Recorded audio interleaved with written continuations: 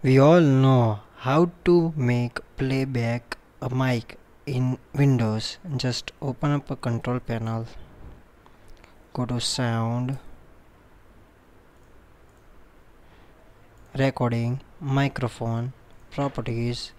And click here. Listen to this device. And we can see this. But what to do with Linux?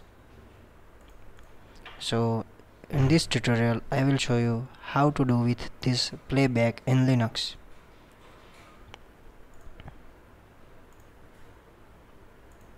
Just go to Pulse Audio Volume Control and go to input device and click here microphone or any other device that you want to uh, then uh, where you can control your mic so click here to mic and click here microphone and do this with output device. Click here to speaker which is your playback device.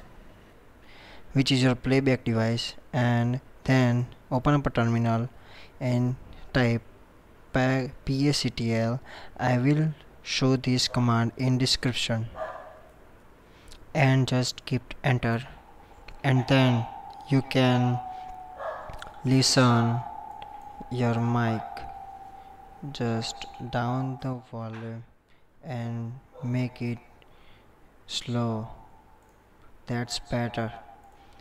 And if you want to stop this just command and type unload enter and then you can see it's not playbacking so thank you for watching and see you guys later